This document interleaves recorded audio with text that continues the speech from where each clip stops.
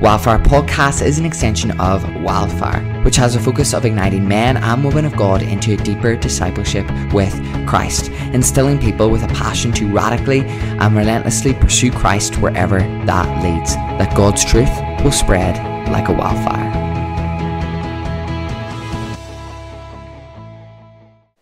But tonight, we're going to talk about a man who is deeply in love with Jesus. So much so that when given the call to leave his job and follow Jesus, he did it.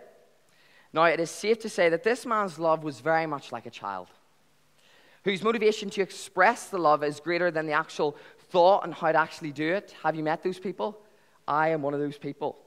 And this love results in him answering first without thinking, getting out of the boat first without thinking, and saying that he would never deny, deny, deny Jesus.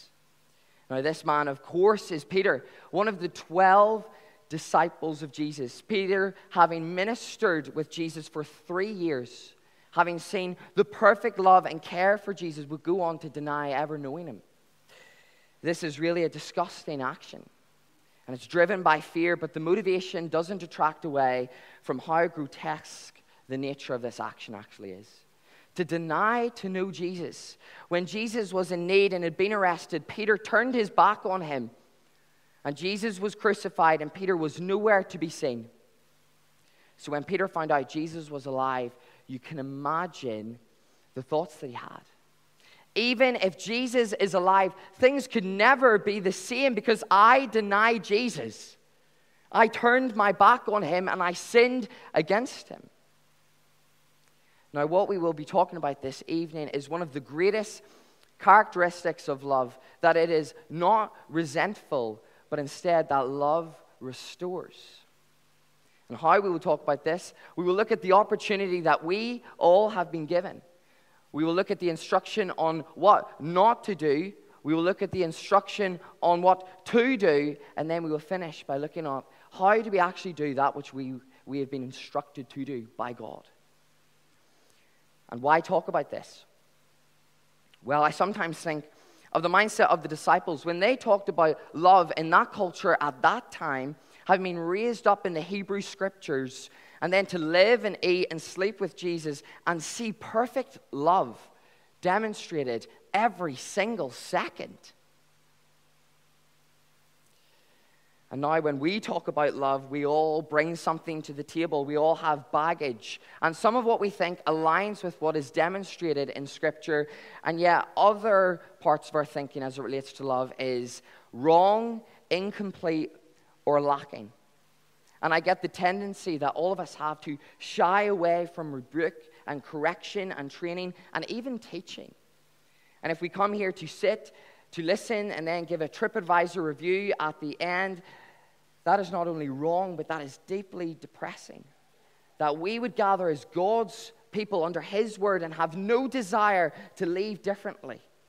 You see, I get excited every time we dive into God's word. Not because of the person that is speaking, but because of the God who is speaking. Jesus' words communicated through the Spirit in me.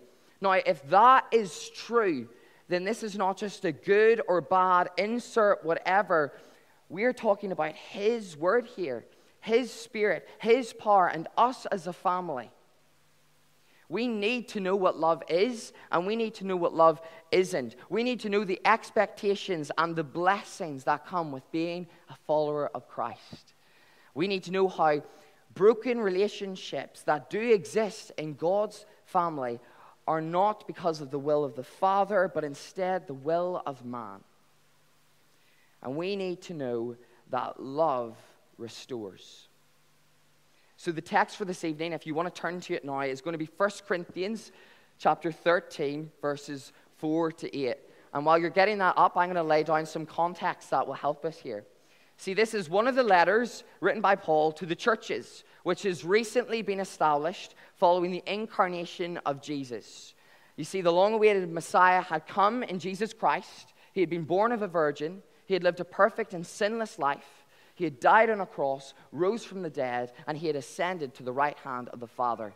His kingdom had been, had been established, and the means to which he would advance that kingdom was the church. And this is one of the letters to those churches. And the church is the church in Corinth. And what you need to know about this church is that, like every other church, it struggled with the demands of Christian discipleship and it promoted a self centered lifestyle. This is the tail end of Paul's first letter to the church. He would go on to write a second, where Paul is instructing them on how to be a unified body that serves and loves one another. Now, this is the text, beginning at verse 4. These are the words of God. Love is patient and kind. Love does not envy or boast. It is not arrogant or rude. It does not insist on its own way. It is not irritable or resentful. It does not rejoice at wrongdoing, but rejoices with the truth. Love bears all things, believes all things, hopes all things, endures all things. Love never fails. You can tell from my intonation plus the sliding board what we are going to be looking at from that text. But I want to still our hearts now, and I want to pray for you. Uh, I want to pray that God would speak into your life, not by me, but by His Spirit that lives inside of you and His Word that is alive and it is active. Let us pray. God, I pray that you'll just help us to come together in humility and that we would ask, that we would knock, and that we would plead that you would speak to us. And to know that when we ask you to speak, you will speak because that is your promise to your children and to those who desire and long after you. Bless this time that we have together now. In your name we pray. Amen. You see, uh, we have been given life. And with life comes the capacity to love. Now, in Psalm 139, this is one of my favorite texts of Scripture. It says, For you formed my inward parts, you knitted me together in my mother's womb. I praise you, for I am fearfully and wonderfully made. Wonderful are your works, my soul knows it very well. You see, I want to tell you about a story. Uh, I was given the opportunity one day to shoot a gun. I know what you're thinking. That's crazy and that's dangerous, and we are in trouble, and you would be correct. And I assure you, the story that I'm about to tell you will only increase your fears when you hear, hear the word look and gun, okay? So I was given the opportunity uh, to shoot this gun. I was instructed, do not do this. Then I was instructed on, do this here. And then I was told, okay, go and do it now. And so it's all pretty simple, pretty basic stuff. And I step up to shoot the gun. But then when I go to do it, I forget is this on safety or is it actually live? And as I went, I was like, I think it's on safety. I turned around with a live gun and faced everybody. Everyone started ducking round. And uh, they took the gun off me and said, You absolute idiot, go inside right now. And it is safe to say that I did not shoot that gun. But why did I tell you that story if not to embarrass myself? Well, I had been given an opportunity, right? And I had been given an instruction don't do it this way. Then I had been given an instruction do it this way. All pretty simple. But when it came to actually doing it, that's when everything seemed to break down. And so it is with us, right? We know the instruction, what not to do. We know the instruction on what to do. We know that we've been given a great opportunity. But when it comes to actually doing it, and I'm talking about love, many of us abdicate that beautiful opportunity we had because we just don't know how to do it. So the first is opportunity. I read to you Psalm 139 about how God formed our inward parts, knitted us together in our mother's womb how we're fearfully and wonderfully made. If you want to know what opportunity we have been given, we have been given life. We have been given life by our King. And with life comes the capacity to love. It is beautiful that we can sit here today and say that we have the capacity to experience love and also to give love.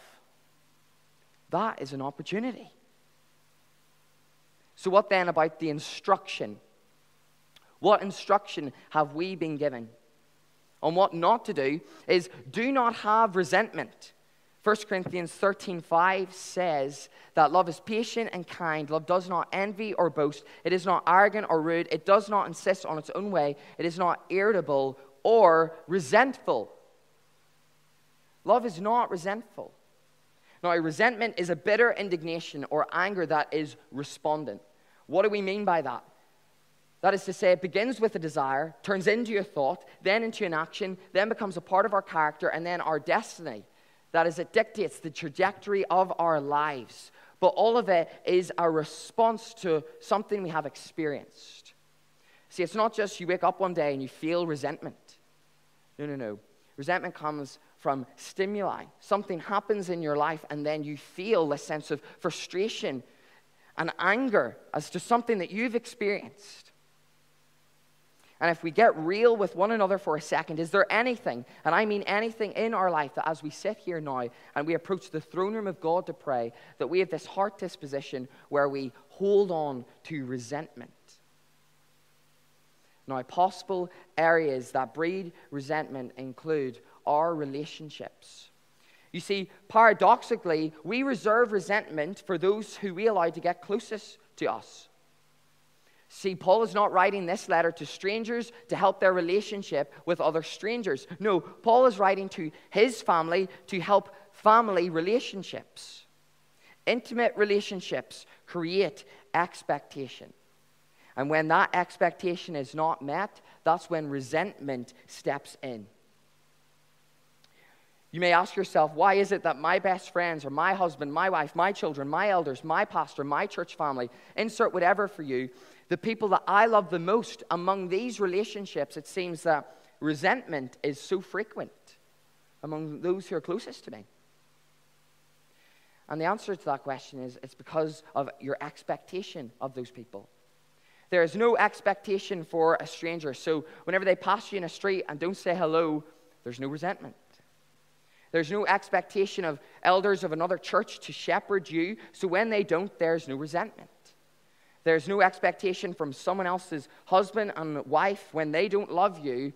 You don't feel resentment. But when your elders and your spouse and your friend and insert whatever for you don't meet our expectation, that's when we're introduced to resentment. This sense of injustice that has been done to us, this annoyed feeling, this frustration that turns into anger, then action, and then becomes a part of our character that seeps into almost all of our relationships with these people that we're supposed to love. Maybe we have to ask ourselves the question is our expectation of people a biblical expectation or is it a selfish one? Other areas that breed resentment are circumstances. Among my generation, the most, it is breakups. Breakups breed resentment. These relationships that we have this expectation of, and whenever they don't turn out the way that we wanted or the way that we hoped, we feel that we have this sense of injustice and brokenness in our lives. And the world will tell you that, oh, you've had your heart broken? Well, it's all right to have that wound in your life and not to restore, but to feel resentment. They justify your feeling of resentment towards that person.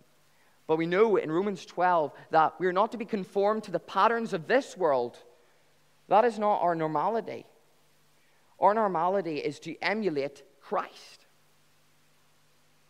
And so when breakups come, when relationships are fragmented, it is not the world that I follow for my example, but instead it is Christ and what his word says. Do not follow the normality of the world and what they say your relationship should be and what they say you should feel. Another area that breeds resentment is life. In a world broken by sin, life comes with a disclaimer, an instruction on what not to do. When resentment comes knocking, and it will, do not let it in. Something that I have been learning recently is that as Christians, we are not just called to a permissible lifestyle. We are not just called to live defensive lives. Instead, we are called to do what is beneficial. That was one of the principles that was drawn out earlier from Paul's letter in chapter 6. Is there any athletes in the room? I knew this would happen. Nobody would put up their hand. Anyone who does sport remotely, put up your hand. I was so scared. Yes. And has anyone ever suffered an injury? Yeah. And uh, what is the one question that you go in wanting to know the answer to? And what is it you go out leaving thinking about? It's the recovery time, isn't it? Right? How long am I going to be out for? Tell me. And the doctor says, listen, you'll be out for four to six months. You, they might as well not have said six months because all you've heard is four. Four to six months. What do you think? Four months? Brilliant. I'll be there. We always go for the earliest time frame. Don't you notice that? We always go with what is merely permissible, but never what is actually beneficial for us. It is enough that we know what not to do, and that is how so many of us live our lives. In relationships, tell me the boundary, tell me the boundary, don't go past that boundary, you got it. If you change the question from what must I not do to what do I get to do, this will change the narrative of your life and your walk with Jesus Christ. And it's a simple one to do. Now, the question is what is the instruction on what we are called to do? We have read in 1 Corinthians the clear commandment to love. But one of my personal favorite commandments that I simply can't get my head around is whenever Jesus in John 15 says the following words This is my commandment, that you love one another as I have loved you.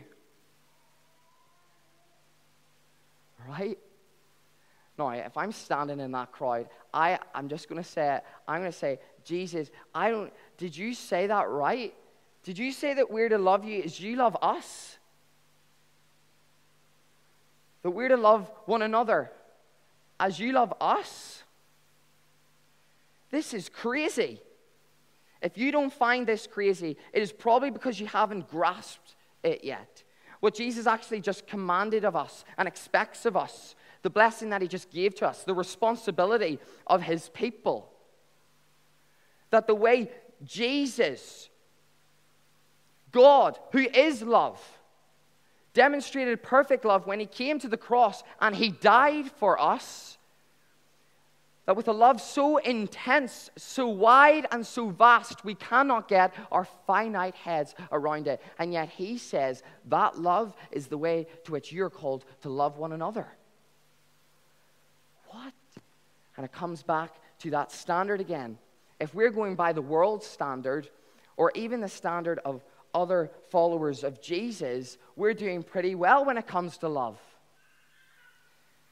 But our standard is not the world and it's not other people. Our standard is Jesus Christ. He says that is the measure to which you love. And with that, I am confronted of where I have went wrong. I've not taken that seriously. And what do we mean by love? practically what does it look like to obey this commandment and take seriously what Jesus says? So often we can see the opportunity that we have been given. And we can see what we're not supposed to do, and then we see what we're supposed to do, but we don't know how to actually do it. Which leads us to our final point for this evening. How do we do what we have been instructed by our King? that is to love one another as he loved us. How do we do this? How do we take seriously this command that not that I have given or any other man, Jesus Christ, the one who redeemed you? If you want to know how to love, know that love never fails. In 1 Corinthians 13 8, it says, Love never fails. One of the greatest facts about love is that it never fails. Love bears all things, believes all things, hopes all things, endures all things. Love does not give up, and it does not feel what it is there to love. then we must never feel in loving the people that we are called and commanded to love His people, His children, our brothers and sisters in Christ, and our enemies. Think about it God is love, and love is what we have just read in 1 Corinthians 13. So we knew that God is love, and we knew that love never fails. So God will never fail in loving what God has decreed He is there to love. And so we must not fail in uh, the decree that we have been given as His people to love whom God has decreed for us to love. Because love never fails. If you want to know how to love, know that love restores. This is one of the greatest and most beautiful truths about love that it restores.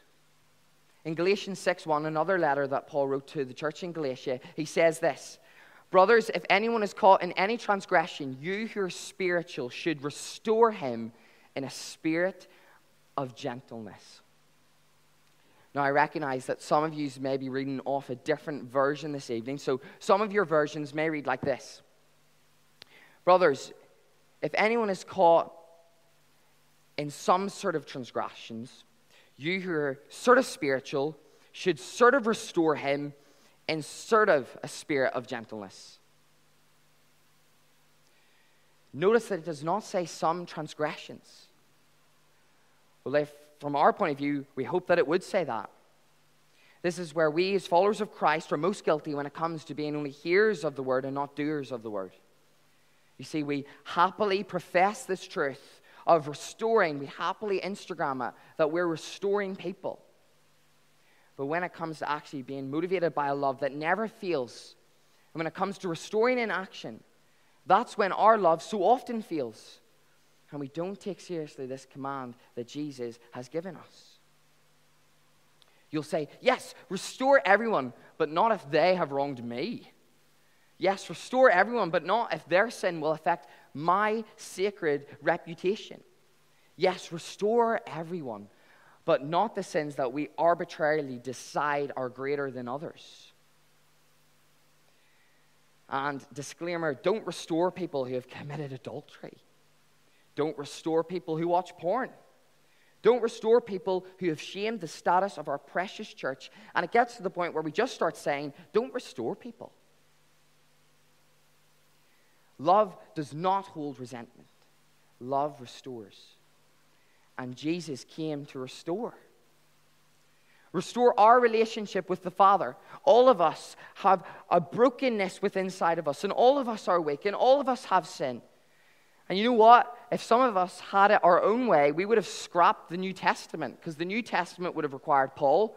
And to have Paul, that would have required restoring Paul who was a murderer and persecutor of other Christians.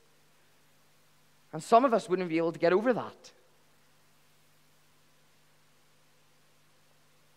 If you want to know how to love, look to Jesus.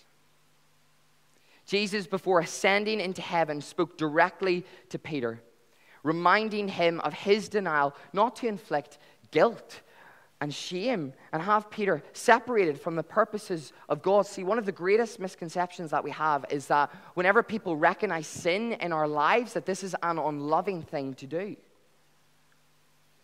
But if you're going to go down that line of argument, you're going to have to say what Jesus is doing here is wrong then. Jesus recognized the sin of Peter and how he denied him three times. But for what purpose? Peter would know that it is not that Jesus didn't see Peter and his sin, but that Peter's sin had been forgiven and he had been restored. If you want to write something down and leave with it tonight, then this is it. It is not that Jesus doesn't see our sin, but it is because Jesus sees our sin that he came. You see, you don't go to a shower when you're clean. You go to a shower when you're dirty. When it comes to Jesus, we come to him dirty and we come to him unclean, we come to him sinful, and he knows that. Church isn't about coming to a place and being whitewashed tombs on the outside. It's about coming authentically and transparently with the family who loves you and has experienced love and wants to restore in love. At the Last Supper, Jesus knew that Peter would deny him three times.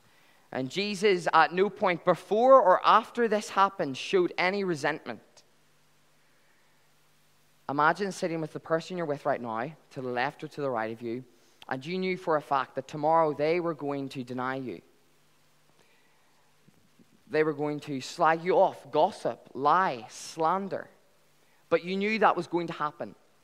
And your knowledge of that and your telling them of that would not act as a deterrent from them actually going ahead and doing it. Yet you have no resentment. And when it's being done, you have no resentment. And after it has been done, you have no resentment. Because love never fails. And love restores. You see, Peter would fail. But Jesus said, When you return, strengthen your brothers. It is not the absence of failure in our lives. We will fail. But what matters is the presence of the faith that remains after the failure. It is true that we will fail, and Jesus knew that because he said, When you return to me, Jesus knew that Peter would fail. And he said that Satan has asked to sift you like wheat, but I have prayed. What did Jesus pray for Peter for? I have prayed that your faith would remain. When we fail, the question is does our faith remain? When I falter, when I fall, the question is Does my faith remain steadfast in not myself, but in Jesus Christ, who is perfect?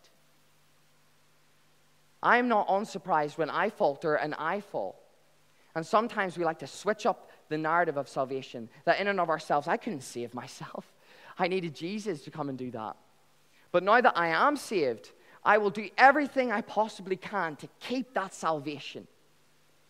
And you know what? Our theology and what we read in Scripture and know about God tells us that that's not true. We know God's love never fails, we know His mercies are renewed every morning. And we can rhyme it off. But yet, our experience denies that. You can come into church and you can say to people, Of course, God never feels. But after you've been crippled with a sin that you've repeated time and time again, you sort of start to doubt yourself and question does God's love never feel? Can He restore me? It is true that we will fail. But the question is will your faith remain? And do you know that Jesus Christ, our advocate and our interceder and our mediator, is seated at the right hand and He prays for us? That our faith would remain steadfast, not in ourselves, but in Jesus Christ. Because of Jesus, sin does not define us. Instead, we are defined by restoration that is found in Jesus Christ. And so we must ask ourselves one of the greatest litmus tests or hallmarks for a healthy church is the frequency to which they restore and the efficacy in which they do it. How often do we restore one another and how often do we restore one another well? To think that we could look out at our brothers and sisters in Christ who are drowning and who are in need and who are in failure, and then to cast them aside is not to model the gospel and it is not to model the love of Jesus Christ. Because what about if he did that with us? Jesus looks at you and he sees you for who you are as a sinner. And he came and he shed his precious blood so that our identity would not remain in sin, but it would remain in Jesus Christ. And so it is when our family falls. In love, we restore them. Because there's no other alternative. And the reality is, it's really easy to actually speak this, but again, doing it, that's when it becomes difficult. In the charity that I work in, I remember shaking hands with a former pedophile and a murderer, someone who committed adultery, someone who was an alcoholic, and someone who was a drug addict, all within the space of 10 minutes. I thought to myself, how would Jesus respond? How am I commanded to respond? And the question wasn't, the difficulty wasn't, well, what would Jesus do here? I know what Jesus would do, and I know what I'm commanded to do, and that's restore. But when it came to doing it, I, I didn't know. And you know what? It's going to be so complicated. Those people who struggle with addiction, those of us who struggle with sin and with weakness that is constant, it's going to be difficult. But that's what discipleship is. That's what journeying with one another is. And the church just as whenever Jesus came, it's not the healthy who need a doctor, it's the sick. We need to model restoration. What have we talked about tonight? Love is not resentful, but instead, love restores. And how did we talk about it? We looked at the opportunity that we have been given as God's people to have life. And with life comes the unique capacity to love one another what have we been instructed not to do? Do not hold on to resentment and to bitterness and to frustration. And it will come, and you will be left with a choice as to whether you will hold on to resentment or as to whether you will be obedient in love. And we have been instructed in what we are called to do. As Jesus said, that we love one another as he loved us. How do we do that which we, we have been instructed? Know the facts. Love never fails. Love restores. And look to Jesus, who loved perfectly. But why talk about this? What will you do now as we leave and as we have fellowship together? This is the love that we are called and commanded this is the love that we are commanded to, knowing that people will feel, knowing that we will be left with the choice to either hold resentment or to offer restoration. This is the commandment, this is the blessing, and this is the responsibility. This is the necessity, and this, this is the expectation from God for God's people. That we would love one another as I have loved you. And it starts with restoration found in Jesus Christ. And it will always continue to be restoration in Jesus Christ. And we, as God's people, have the privilege of restoring one another and doing so in love, not to hold resentment. So let us love one another as Jesus loves us. Let us pray. Dear God, we thank you so much that we can gather together and we can praise your name and we can be reminded of the truths that are found in your word. That amidst the chaos of summer and the mission and the constant pouring out, that we would find sustenance in your manna and in your word. And the difficulty was not listening to this today. The difficulty comes in actually practicing it. And if we failed, help us to recognize that and come with repentance and confession and forgiveness. And let us begin tonight a love that never fails and a love that restores. Help us look with expectation. Help us to encourage one another in our walks and our races for Christ. Bless our time of praise now and fellowship together as we talk and remind ourselves of the restoration that we have experienced and the restoration that we now get to partake of as his people. Amen.